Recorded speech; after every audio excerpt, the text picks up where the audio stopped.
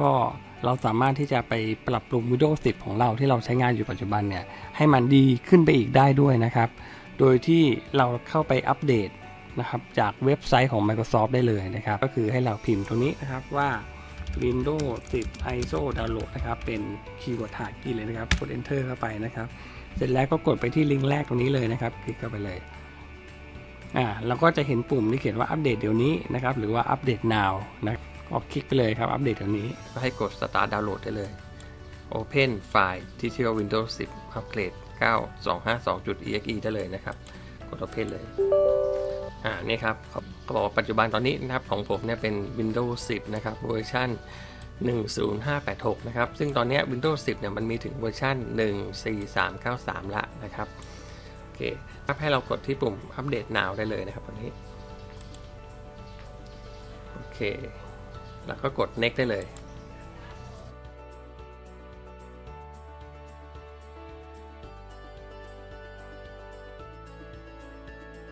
โอเค ก็กด restart ได้เลยนะครับ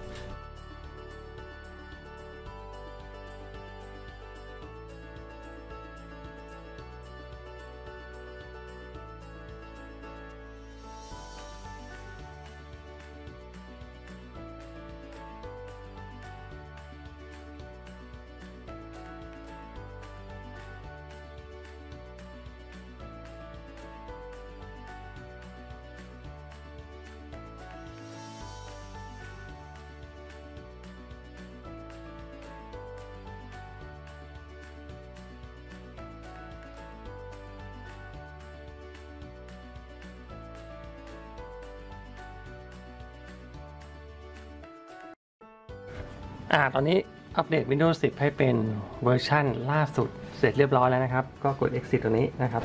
สังเกตตรงนี้นะครับด้านซ้ายตรงนี้นะครับสังเกตนะฮะตรงมุมซ้ายตรงนี้ power setting นะครับย้ายมาเป็นไอคอนตรงแถบซ้ายนะครับ น่าจะเพื่อประหยัดเนื้อที่ด้วยนะครับ เดี๋ยวไปดูเวอร์ชันมานะครับ ตอนนี้ก็ไปคลิกตรงนี้นะครับที่ setting นะครับตรงนี้คลิกไปทีนึงนะครับ แล้วก็เสร็จแล้วนะครับ คลิกไปที่ system ตรงนี้นะครับ คลิกไปครั้งหนึ่งนะครับ แล้วก็เลื่อนลงมาด้านล่างสุดนะครับ จะมีเขียนว่า about ตัวนี้นะครับ ให้คลิกที่ about นะครับ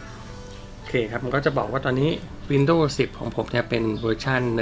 1607 นะครับตัวนี้ OS build ที่ 14393.262ตัวนี้นะครับ โอเค ก็น่าจะมีเท่านี้นะครับ วิธีการอัปเดต Windows 10 ให้เป็นรุ่นล่าสุดนะครับ